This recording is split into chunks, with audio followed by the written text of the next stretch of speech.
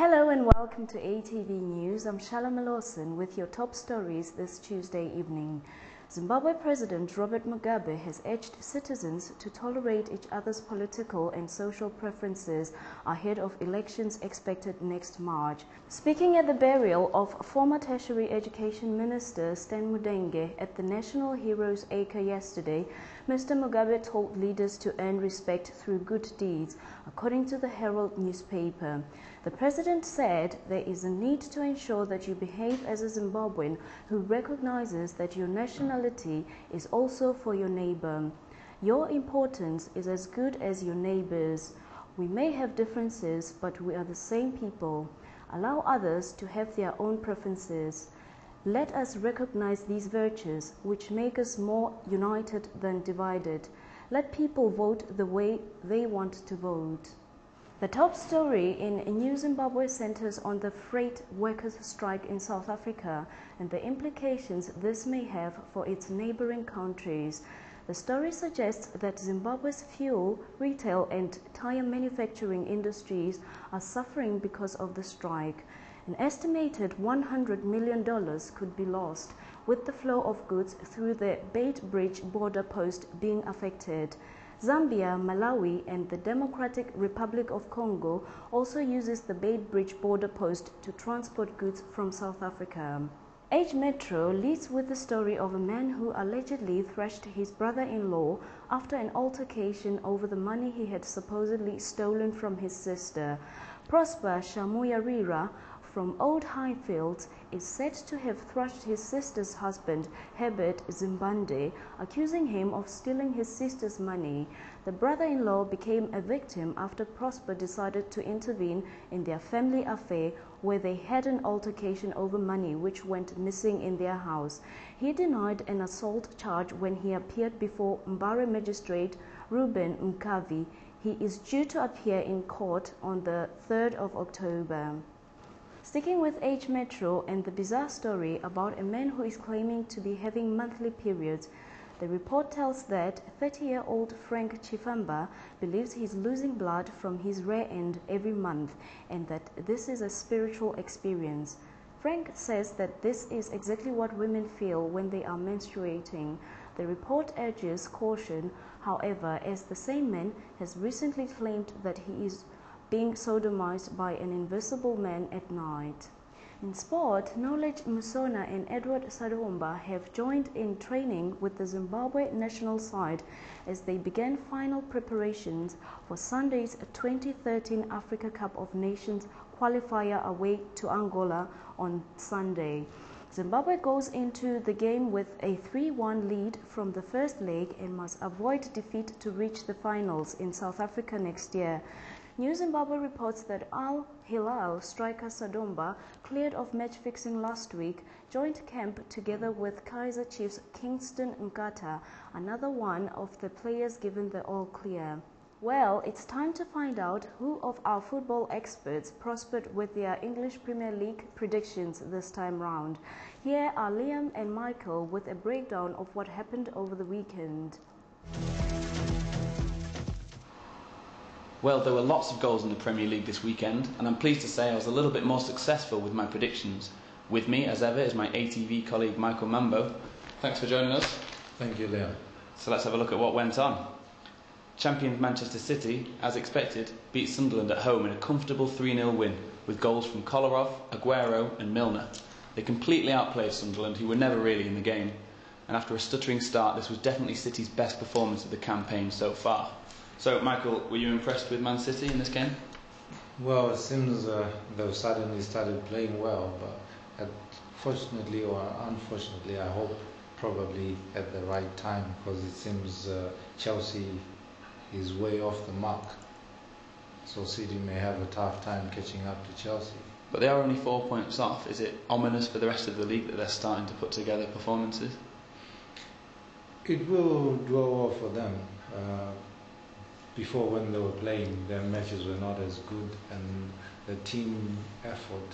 Uh, I think it's uh, Balotelli. He's a, he was a bit selfish. He's a different player as opposed to the one that we saw during the European Championship. So if he can bring that form in and that teamwork into his play, hopefully City may have a chance of retaining the championship. And um, when Sergio Aguero came on and basically scored after two minutes of playing, he's a real, real top striker, isn't he? Yeah, he is. Uh, it shows the strength and depth that City have if, if they can bring him on as a sub. Yeah, so they have a pretty solid squad. Okay, so we're impressed with City. What about Chelsea? Now, Chelsea, they continue their great start to the league with a 4 1 win over struggling Norwich, and that keeps them four points clear at the top of the Premier League. Goals from Torres, Lampard, and Eden Hazard and Ivanovic help them on their way. And if they keep playing like this, then they will certainly mount a serious title challenge. They're four points clear at the moment. Are they realistic contenders for the league? They are realistically. They have a strong case. Uh, it's a different Chelsea team. It's more mobile. It's more fast. Their passing is more fluid. It's, it's not uh, the Chelsea of previous seasons that was mainly based on defending, defending, defending. And we've talked about their key attacking midfielders, Hazard, Mata, Oscar, but Torres scored again at the weekend and he looks like he's almost back to his best. Is he important for them?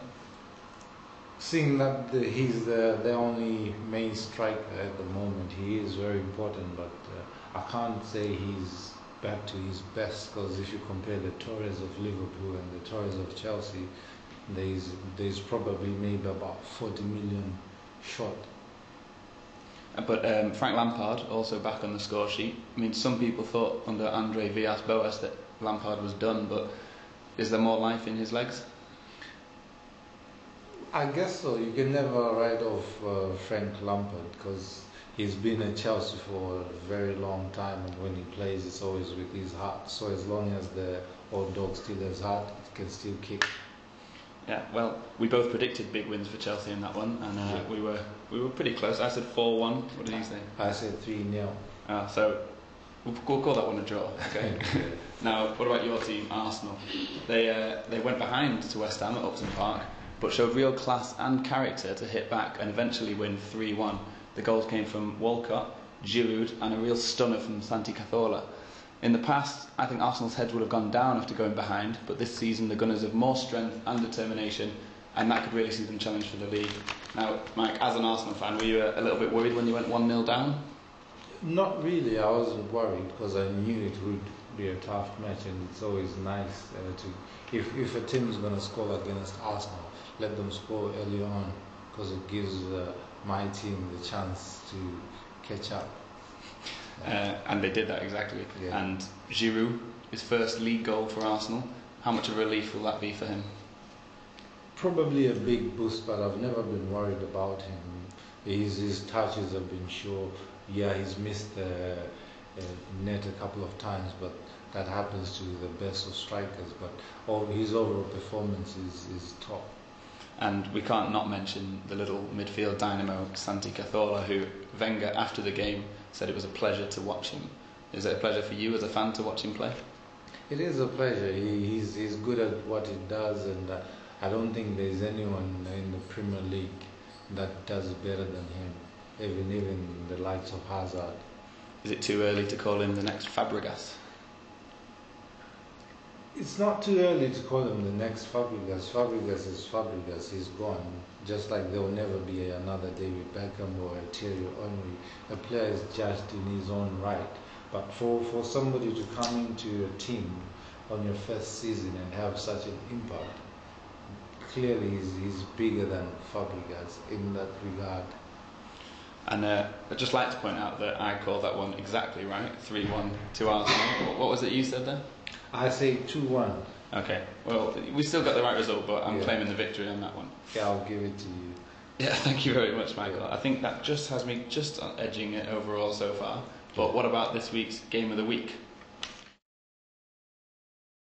On Sunday, the game of the week saw Manchester United travel to Newcastle United. Both me and Mike couldn't really see Man United getting a win, but they surprised us all with a comfortable 3 0 victory, a great recovery from last week's loss to Tottenham. The Red Devils got off to an absolute flyer with Jonny Evans and Patrice Evra scoring in the first 15 minutes. In the second half, Tom Cleverley's wonder goal finished off Newcastle, although there's some debate as to whether he actually meant it. Overall, this was a vintage performance from Manchester United. So, uh, Mike, you were way off with this one, weren't you? Didn't you have Newcastle winning 3 1, I believe? Not to rub it in at all.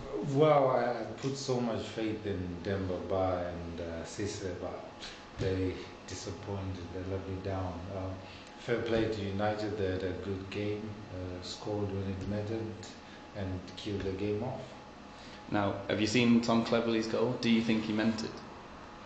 Only he knows whether he meant it or not. But watching the interview after, he did say he meant it. So we'll just give him that one. Well, he's going to say that, though, isn't he? But either way, it was, it was a brilliant goal and a comfortable win for United, and it really gets them back on track after two losses in the opening games. They're not as solid as they used to be in defence. Uh, Vidic is now injury prone. I think uh, this is his second or third time being injured, and the number of games he's played so far is far and few between. Ferdinand still has the back problem, which he keeps complaining about. Uh, so, plus the reinforcements they brought in are also injured in that department.